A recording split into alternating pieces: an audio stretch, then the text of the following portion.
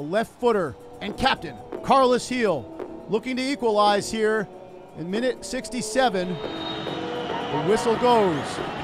The run up by the captain. And he calmly buries it into the back of the net. We're level at two. Carles with his third of the year.